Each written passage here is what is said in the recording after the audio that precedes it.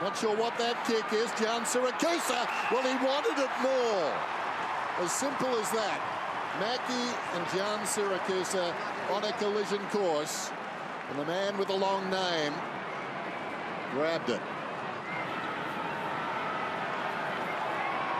In every sense of the word, a big name forward. And he comes, gets his second.